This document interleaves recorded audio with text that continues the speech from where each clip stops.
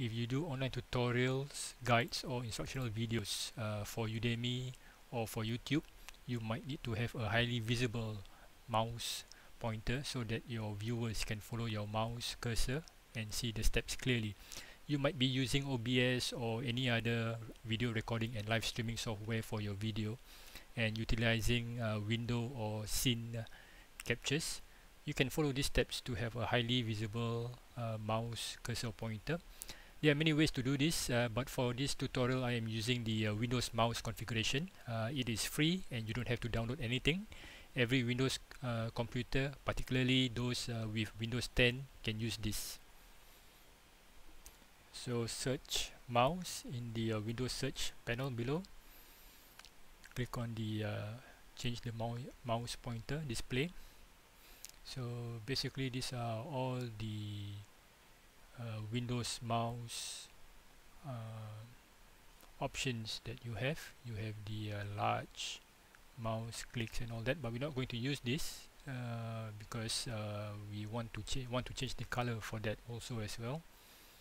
Alright so okay use the uh, mouse. Okay search for more mouse pointer color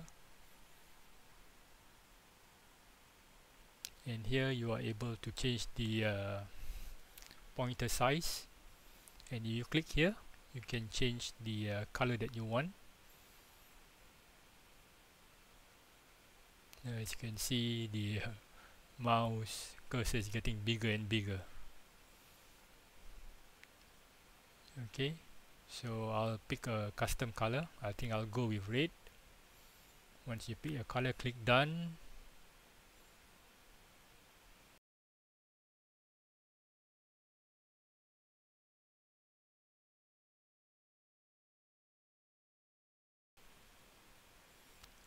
and as you can see the uh, pointer has changed color to red.